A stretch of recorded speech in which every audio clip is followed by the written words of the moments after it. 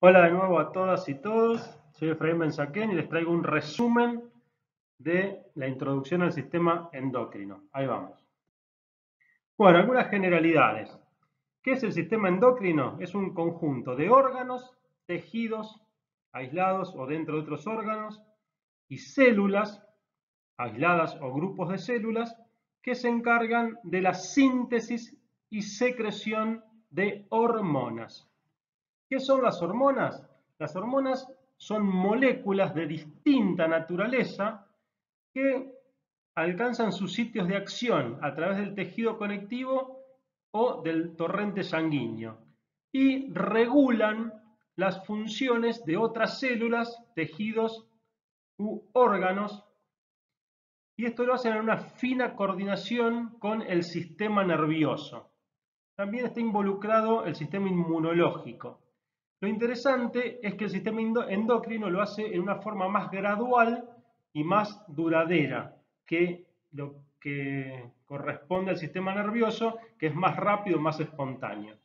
Acá tenemos un dibujo donde vemos el cerebro con la glándula pituitaria o la hipófisis en íntima vinculación con el hipotálamo y alrededor todos los órganos que tienen componentes endocrinos e inmunológicos como el timo, que son los que ejercen las verdaderas funciones endocrinas comandadas por el hipotálamo y por la glándula hipófisis, como vamos a ver a lo largo del video. Continuamos.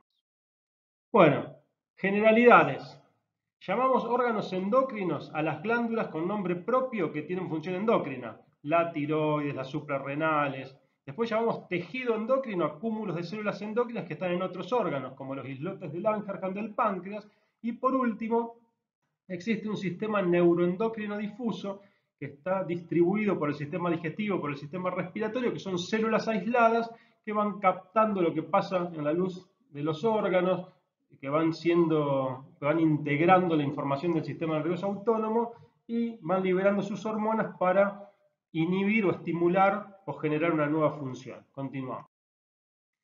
Bueno, hay un, una diversidad de mecanismos. En general hablamos del sistema endocrino cuando estas sustancias que tienen receptores específicos y que desencadenan procesos en la célula que tiene ese receptor, que se llama célula diana, llega a través de la sangre, pero también puede llegar a través del tejido conectivo sin necesidad de entrar en el torrente sanguíneo. Básicamente se describen tres mecanismos un mecanismo endocrino propiamente dicho, que es cuando la sustancia que conocemos con el nombre de hormona va a la sangre, desde la sangre se distribuye en todo el cuerpo y luego llega a los receptores de las células diana a distancia.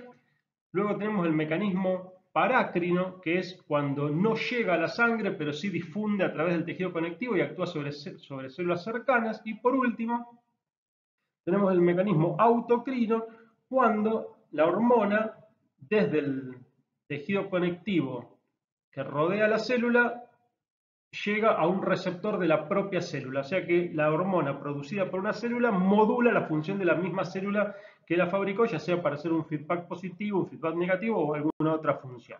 Continuamos. Bueno, acá tienen un resumen entonces de los mecanismos, esto lo tienen en el PDF o le pueden poner pausa y leerlo con tranquilidad, pero es neurocrina cuando se produce entre dos neuronas o de una neurona a un órgano efector. Esto es dentro del tejido nervioso, esto no es propio del tejido endocrino, sino que es un mecanismo del tejido nervioso. Decimos que es endocrina propiamente dicha cuando la hormona pasa al torrente sanguíneo y actúa a distancia.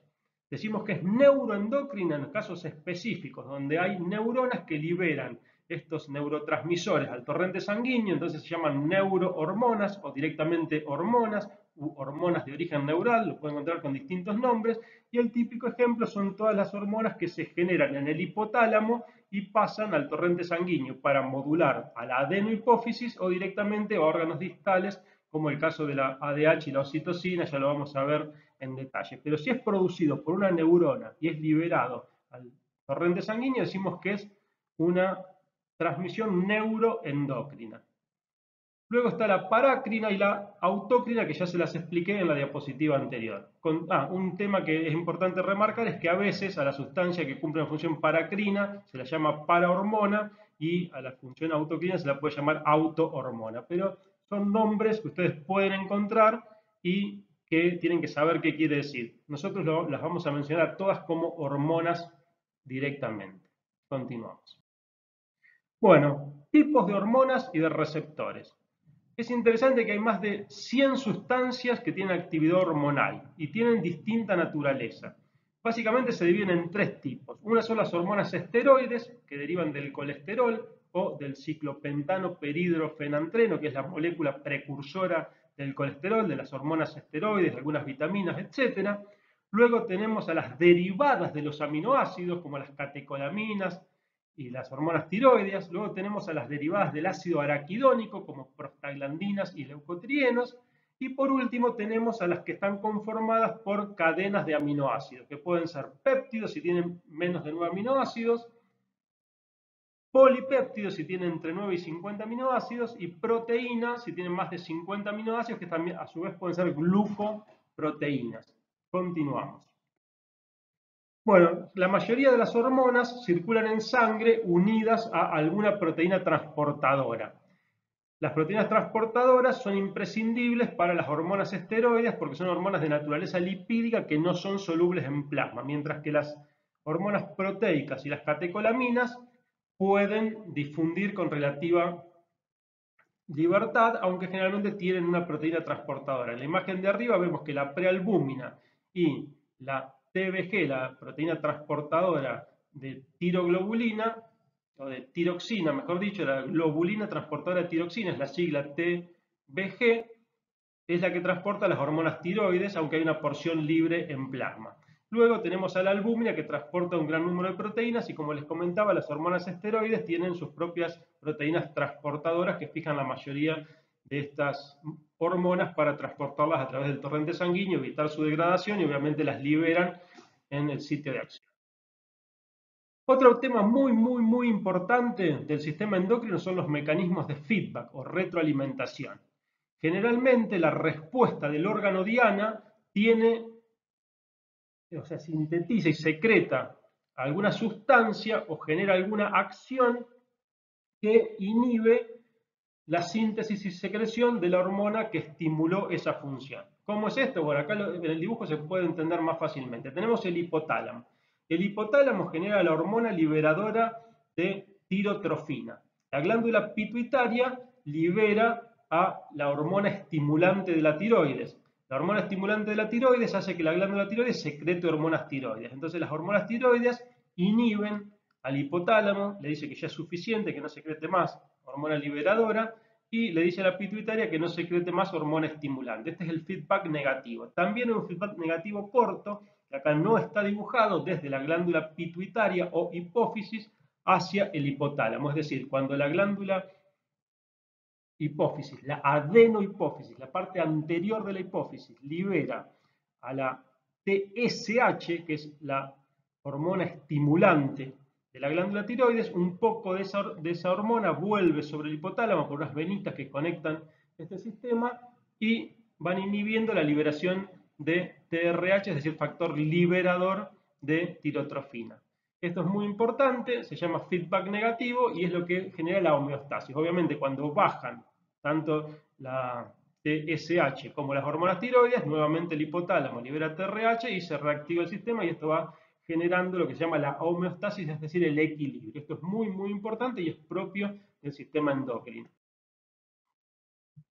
Bueno, ya vamos a entrar entonces en la principal glándula reguladora de todo el sistema endocrino, que como les decía, es la hipófisis, o mejor dicho, es la interacción entre el hipotálamo, que es un, un conjunto de núcleos de la base del encéfalo, y la hipófisis propiamente dicha, que tiene una porción de origen epitelial, que es la parte anterior, que es la adenohipófisis, que se había originado desde la orofaringe, y tiene una porción propiamente neural que directamente es una extensión de los axones de los núcleos supraóptico y paraventricular del hipocampo.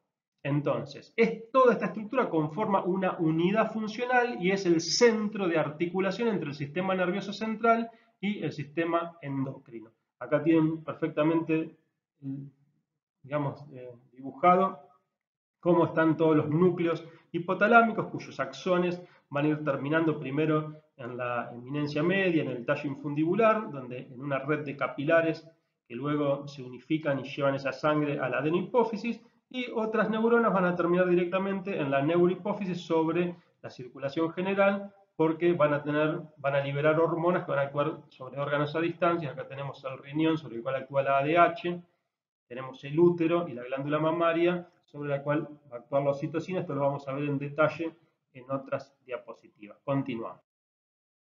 Bueno, la irrigación es un tema muy, muy importante en la unidad entre la hipófisis e hipotálamo.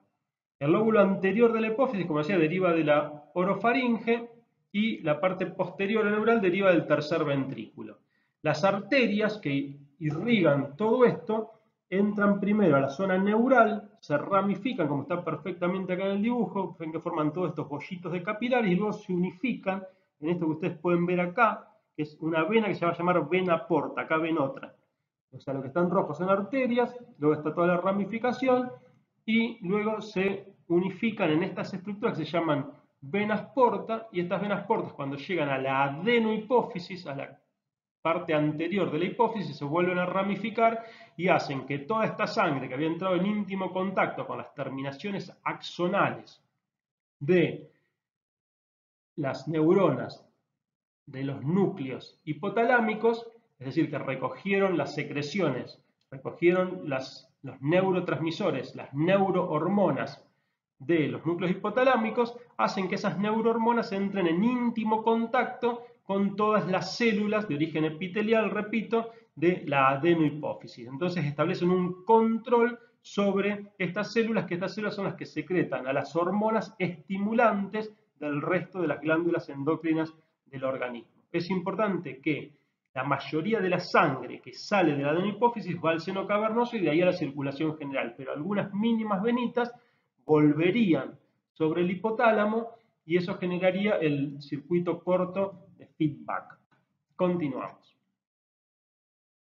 Bueno, entonces, remarcando esta idea del sistema porta hipotálamo hipofisario, tenemos que la sangre llega a la parte neural, se, se, distribuye por las terminaciones axónicas, luego se unifica en venas y luego se vuelve a capilarizar y a distribuir en la adenohipófisis. Cuando llega a la adenohipófisis trae a todos los RH, a todos los factores de liberación generados por el hipotálamo y obviamente estos capilares que confluyen en la adenohipófisis hacen que las células de la adenohipófisis generen las hormonas que van a estimular al resto de las glándulas endócrinas que se llaman las SH, es decir, las hormonas estimulantes, estas las vamos a ver en una siguiente placa pero eh, obviamente tienen que tener clarísima esta concepción, este concepto del sistema portipofisario, es decir, una ramificación de la arteria que genera capilares que recogen a todos los factores liberadores,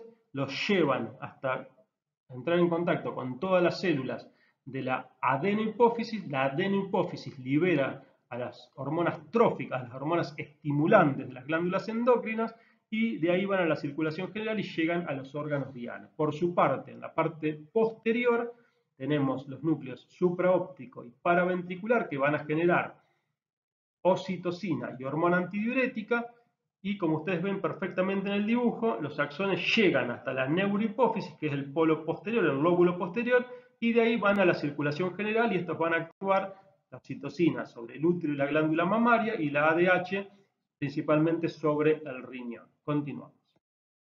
Bueno, y en esta diapositiva lo que ven es una imagen con, hematoxilina y osina de la neurohipófisis. Obviamente, o sea, lo que está escrito es lo que les acabo de decir en la diapositiva anterior.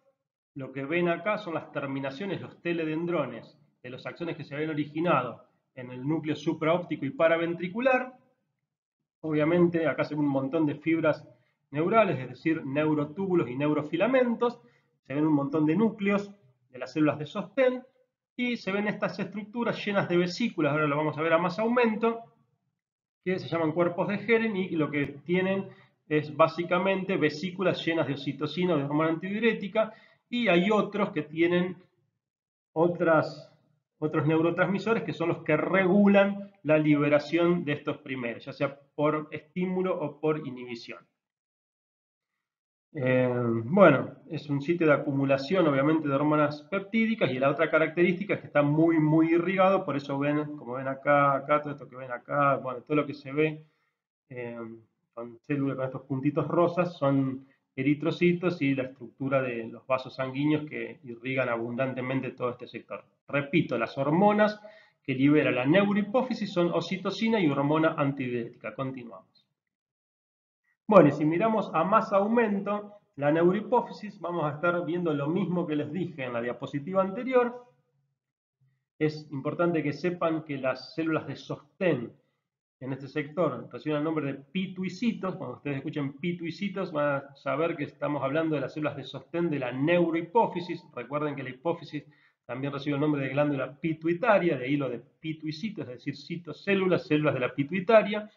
Son células de la glía, no tienen mayores particularidades. Acá ven a gran aumento los cuerpos de Hering, son estructuras que tienen los neurotransmisores, tienen mitocondrias y algo de retículo endoplásmico liso, y el resto de lo que van a ver son fibras, y para verlas mejor vamos a necesitar distintas tensiones. Esto no merece que nos detengamos demasiado, así que continuamos. Bueno, vamos a las hormonas específicas de la neurohipófisis, es decir, del lóbulo posterior. La oxitocina es un potente estimulante de la contracción del músculo liso. Recuerden en el primer parcial, cuando vimos el mecanismo de contracción del músculo liso, que algunos mecanismos eran por el ligando receptor, es decir, por receptores de membrana. Bueno, uno de esas, de esas hormonas que se liga a la membrana del músculo liso y estimula fuertemente su contracción es la oxitocina. Es interesante que es un clásico ejemplo de feedback positivo, porque ¿dónde actúa la oxitocina? Actúa en las células del músculo liso del útero, cuando ya va empezando el trabajo de parto, que hay todo un proceso para que se expresen los receptores de la oxitocina, y actúa en las células mioepiteliales de las glándulas mamarias. Y en ambos casos establecen mecanismos de feedback positivo. ¿Por qué? En el caso del parto, la presión de la cabeza del bebé o de la parte del bebé que está en contacto con el cuello del útero, al presionar sobre el cuello del útero, eso genera un estímulo nervioso que se va integrando a nivel del hipotálamo y hace que las neuronas de los núcleos supraóptico y paraventricular sinteticen y liberen oxitocina. Esto obviamente aumenta la contracción a nivel del útero y esto genera más presión sobre el cuello, esto genera más estímulo al hipotálamo y así se va a producir el parto. Hay veces que el sistema se agota y la pobre madre descansa un poco porque es bastante doloroso, parece ser esto. Pero cuando esto realmente ya ha generado la maduración suficiente, es lo que estimula el parto y de hecho para inducir el trabajo de parto se inyecta artificialmente oxitocina o alguna, alguna molécula que tenga funciones de oxitocina para justamente estimular este proceso y que se desencadena el feedback positivo. Y lo mismo ocurre a nivel de la lactancia, que tenemos este lindo bebé que empieza a chupetear el pezón de la mamá y al chupetear el pezón se produce un estímulo nervioso que se integra a nivel del hipotálamo y le dice a las neuronas del hipotálamo que liberen oxitocina. La oxitocina llega y estimula la contracción de las células mioepiteliales de la glándula mamaria y también a nivel de la adenohipófisis estos núcleos generan factores liberadores de prolactina. Entonces, que es la misma, esto ya después vamos a ver qué molécula es, no importa. El tema es que se secreta prolactina y oxitocina y esto hace que la mama produzca y libere leche. Al liberar leche, el bebé sigue chupeteando más, con lo cual aumenta el estímulo y se produce el feedback positivo hasta que el ciclo se agota, ya sea porque se acabó la leche de la, de la teta o porque el bebé ya está satisfecho. Así es como funcionan los mecanismos de feedback positivo. Continuamos. Bueno, la hormona antidiurética es la otra hormona del hipotálamo, que antes se la llamaba vasopresina, porque a grandes dosis artificiales genera una vasoconstricción, pero a nivel fisiológico lo que hace es que estas vesículas que están en las células del túbulo contorneado distal y del túbulo colector que tienen unos poros para el agua que están acá dentro del citoplasma, plup, se fusionen con la membrana apical. Entonces, eso hace que las acuaporinas o estos canales de agua permitan el paso de agua desde la luz del túbulo hacia el intersticio y hacen que se recupere agua y que disminuya la cantidad de orina. Por eso es antidiurética. Es un rol muy importante y esta hormona se estimula cuando la sangre tiene mucha osmolaridad, así que tenemos más sodio que agua, o cuando baja la volemia. Continuamos. Bueno, si vamos a la adenohipófisis, decimos que es el órgano endocrino regulador de todo el sistema endocrino y que está regulado por el sistema nervioso central. Se distinguen varias porciones, una distal, una intermedia y una tuberal o alta. Nosotros nos vamos a centrar en la distal. Con H y E vamos a encontrar tres tipos de células, las basófilas, las acidófilas y las cromófobas, fobos de fobia, es decir, que no hay cromo de colorante, es decir, que tienen fobia al colorante, que no se tiñen.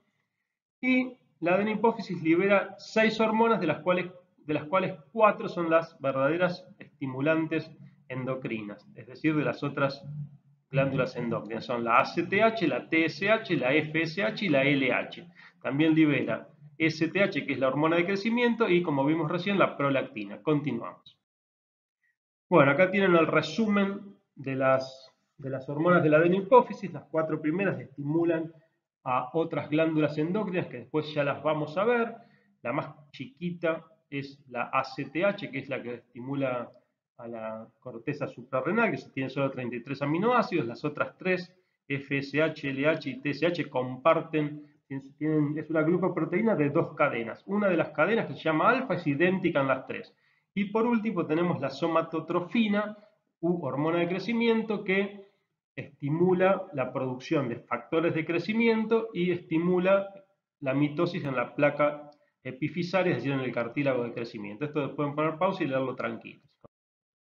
Bueno, como esto es un resumen, vamos a ir rápido. De las células que producen y liberan hormonas, tenemos a las eosinófilas, que son la mayoría, que además son PAS negativas, y a las basófilas, que son la minoría y que además son PAS positivas.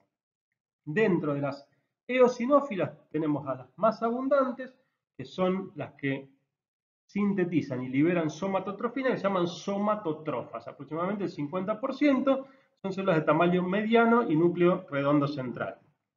Mientras que las prolactóforas o prolactotrofas, que liberan prolactina, son aproximadamente un 20% y son células poliédricas grandes.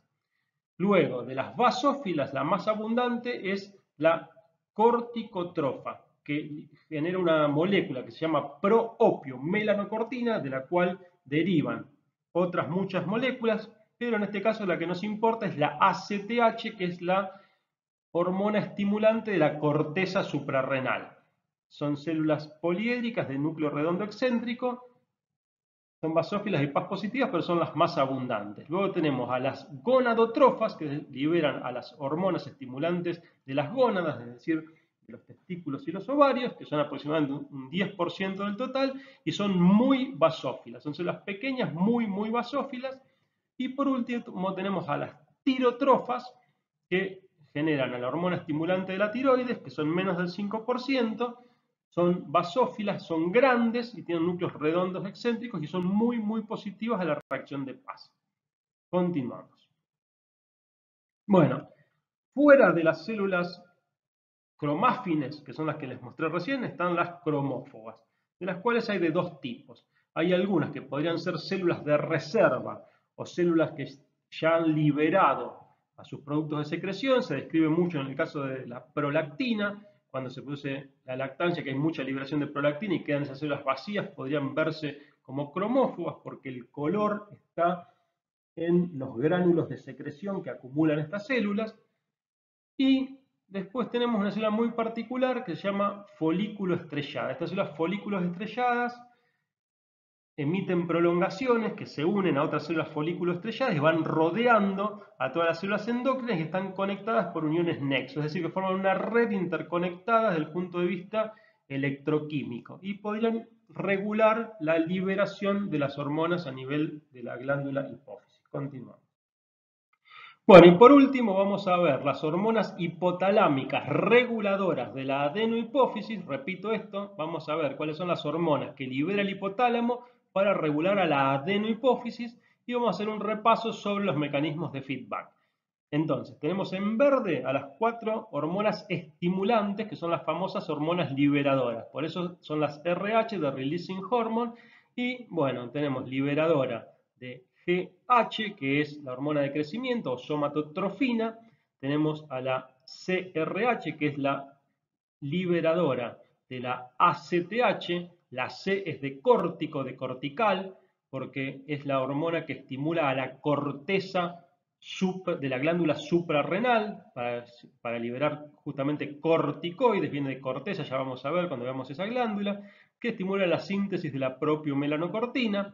Luego tenemos a la GNRH, es decir, la liberadora de gonadotrofinas, que son la FSH, es decir, la hormona folículo estimulante y la hormona luteinizante. Y tenemos a la TRH, que estimula la secreción de hormona estimulante de la tiroides y también de prolactina en otra célula. Obviamente, pero es la misma molécula que va a estimular la secreción de hormona estimulante de la tiroides y de prolactina, la misma molécula. Por otra parte, tenemos también sustancias inhibitorias, porque no todo puede ser excitación. Entonces, hay veces que hay que controlar y frenar la liberación cuando se produce el mecanismo de feedback. Y tenemos dos moléculas.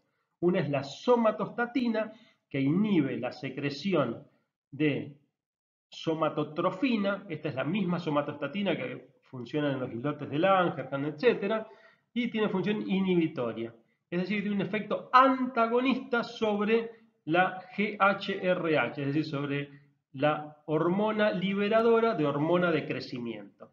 Cuando tiene un efecto contrario. Y por otro lado, tenemos a la dopamina que inhibe la secreción de prolactina, es decir, que es antagonista de la TRH. Y acá tiene un hermoso dibujo vemos cómo funciona el circuito. Por cualquier estímulo, el hipotálamo, o por directamente ritmo circadiano, o por la naturaleza propia de las hormonas hipotalámicas, empieza a generar un estímulo que libera la primera hormona, que son estas que están acá en verde, que son las hormonas liberadoras. La hormona liberadora llega a la adenohipófisis, le da la orden a las células que liberen a sus productos de secreción, que los sinteticen y los liberen, y acá se generan las verdaderas hormonas estimulantes de las glándulas. Pero un poquito de esa hormona vuelve sobre el hipotálamo y le dice, bueno, suficiente, y empieza a frenar el proceso.